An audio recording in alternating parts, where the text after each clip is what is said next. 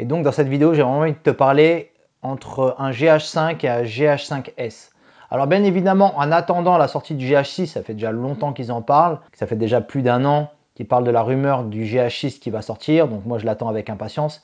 Il y a vraiment des très très bons paramètres sur le GH6 d'après les rumeurs. D'ailleurs, il devrait avoir plusieurs modèles puisqu'il devrait avoir le GH6, le GH6V et le GH6X selon les rumeurs. Quand tu regardes sur le, site, c'est vrai que ce boîtier-là, il va être vraiment pas mal. Il va pouvoir être au-dessus du GH5 par rapport à ce que j'ai pu voir. Mais pour le moment, on en est encore au GH5 puisque ça fait déjà un petit moment qu'il existe. Pour le moment, il n'y a pas eu de boîtier Panasonic dans ce modèle-là au-dessus. À part le boîtier S1H qui est sorti récemment et qui est vraiment à un certain niveau puisqu'il shoot en 6K et c'est quand même vraiment pas mal, mais encore trop cher. Et je pense qu'on n'a pas besoin d'avoir un boîtier aussi cher pour pouvoir faire des clips, puisqu'avec un GH5, tu t'en sors largement bien. Alors le sujet de la vidéo, c'est vraiment de comparer le GH5 et le GH5S, puisqu'on m'a posé la question plusieurs fois. Alors tu verras sur YouTube, il y a vraiment pas mal de vidéos sur le sujet avec des comparaisons entre un GH5 et un GH5S. Moi, je veux vraiment te faire la comparaison parce qu'on m'a posé la question plusieurs fois. Et selon moi, pourquoi moi je préfère le GH5 Parce qu'il y a plusieurs petits points que tu vas voir en tant que clipmaker, c'est important de les savoir. Alors pourquoi je préfère le GH5 plutôt que le GH5S Parce que tu vas voir qu'en fait, il y a plusieurs personnes qui se font avoir parce qu'ils se disent que le GH5S c'est intéressant par rapport à la montée en ISO. Mais quand tu es clipmaker, tu n'as pas besoin de monter spécialement en ISO parce que tu ne dois jamais faire des plans en fait à la va-vite où tu es obligé de monter en ISO quand tu shootes de nuit. Quand tu fais du clip, tu as beaucoup plus le temps de préparer tes plans. Donc quand tu vas filmer un playback avec un artiste ou autre, tu as plus le temps d'être posé et donc c'est la lumière qui va compenser et c'est le, fait que tu vas pouvoir maîtriser ta lumière qui va faire que tu seras bas en ISO. Donc tu n'as pas besoin vraiment de monter en ISO, à part si tu fais pas du clip et que tu tournes des vidéos prises sur le vif. C'est-à-dire si tu vas tourner euh, des vidéos dans une manif ou si tu vas tourner euh, des vidéos de concert ou autre, là je te dirais ok, tu as besoin de monter en ISO. Mais concrètement, quand tu as un GH5, c'est vrai que tu peux monter jusqu'à 800, 1000 grand maximum en ISO, parce qu'après, à partir de 1000, ton image elle n'est pas terrible. Mais euh, avec un GH5S, c'est vrai que tu peux, tu peux monter en ISO. Mais tu n'as vraiment pas besoin de monter autant en ISO, puisque de toute façon, si tu as des optiques de grandes ouvertures comme moi j'ai et comme je te recommande, tu n'auras pas besoin d'avoir une grande montée en ISO, donc un GH5 sera suffisant. La chose aussi qui est importante et dont moi aujourd'hui j'ai un peu de mal, c'est que le boîtier GH5S n'est pas stabilisé. Et ça c'est vraiment très important quand tu fais du clip, parce que quand tu fais du clip, des fois tu es obligé de tourner des plans un petit peu à la va-vite.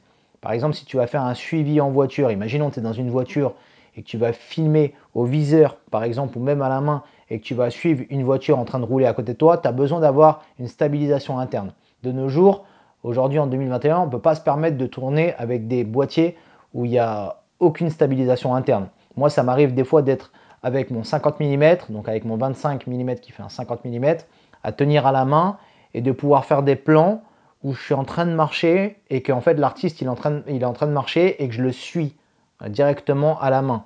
Et donc, on a l'impression qu'on est avec un stabilisateur. Ça, c'est beaucoup plus facile quand tu es entraîné et que tu es habitué à avancer comme ça avec ton boîtier à la main, au viseur ou à la main. Et donc, du coup, tu peux te permettre de le faire quand tu filmes en ralenti, directement donc avec ta cadence variable sur ton GH5. Ton boîtier, il y a une stabilisation interne. Chose que tu ne peux pas faire sur un GH5S. Sur le GH4, c'est pareil, il n'y a pas de stabilisation interne. Il va falloir plus s'entraîner pour pas que ça bouge. Mais quand tu t'habitues à la stabilisation interne, tu as vraiment du mal à retourner sur un boîtier où c'est pas stabilisé. Donc ça, pour moi, c'est une partie importante quand tu fais du clip. Je te dirais, ok, si maintenant tu fais pas du clip et que tu fais autre chose dans l'audiovisuel, tu as l'habitude de tourner tes plans sur un trépied à, pas trop bouger ou à être que au stabilisateur, ok. Mais quand, tu dois shooter un petit peu à la main et au viseur et que tu dois faire des mouvements à la main et en même temps même sur ton stabilisateur qui forcément tes images seront encore plus stabilisées puisque tu vas avoir ton stabilisateur 3 axes et en même temps ton boîtier qui va être stabilisé, donc il va avoir une double stabilisation, donc ça va être vraiment encore mieux pour certains plans playback où tu vas avancer, alors que sur le GH5S, si tu seras avec un stabilisateur, tu n'auras qu'une simple stabilisation d'un stabilisateur 3 axes. J'ai vu aussi qu'il y a une différence par rapport au GH5 et au GH5S par rapport à quand tu shootes en 24 images. Il y a plusieurs petites configurations qui changent, mais c'est pas très important pour toi en tant que clipmaker ça va être plus important pour des personnes qui vont faire peut-être du court métrage ou certains autres styles de vidéos ils vont pouvoir shooter en 24 images. Mais moi, je te conseille vraiment pas de tourner en 24 images parce que si demain, tu fais des gros artistes et que tu les as tournés en 24 images et que leurs clips ils sont diffusés sur Vevo, ça va être un problème pour toi parce que la plateforme de Vevo prend que les clips qui sont shootés en 25 images. Donc si tu as shooté en 24 images, ça va être un problème. Et donc là, tu vas foirer tout. Et là, je peux te dire que le problème, ça va être l'artiste qui va revenir auprès de toi. Parce que si son clip ne peut pas aller sur Vevo à cause juste parce que tu as filmé en 24 images, ça va être un problème.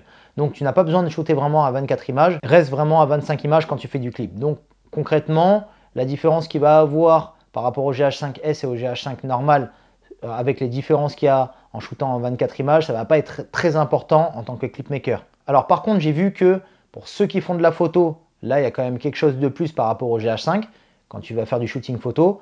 Moi, ce n'est pas mon cas puisque je faisais de la photo il y a longtemps quand je faisais un petit peu des l'urbex. Maintenant, je fais rarement des photos, je ne suis pas photographe. Mais si tu fais du clip et qu'en même temps, tu as envie d'être photographe, je vais te dire, ok, peut-être prends-le. Mais si tu fais que du clip et que tu fais pas de la photo, tu n'as pas d'intérêt d'avoir un GH5S. Je te dirais, reste plutôt sur un GH5 normal. Donc voilà les petits points que je voulais partager avec toi puisqu'on m'a posé la question. Et donc pour moi, je te conseillerais vraiment si tu veux faire réellement du clip et que tu veux faire que ça, reste plutôt sur un GH5 normal. Tu n'as pas besoin d'avoir un GH5S. Prends le temps de comprendre ton boîtier et de savoir comment tu vas faire pour faire les meilleures images possibles avec ton boîtier et t'entraîner. Et après, essaye aussi de t'entraîner un petit peu à la main, donc avec la stabilisation interne, et tu vas voir la différence avec un boîtier qui n'est pas stabilisé. Tu vas prendre l'habitude et tu verras que ça va être difficile de passer à un boîtier qui est non stabilisé. Donc voilà, c'était la petite vidéo pour te résumer ça parce qu'on m'a posé la question. Et donc je te dis à bientôt pour les prochaines vidéos. À bientôt.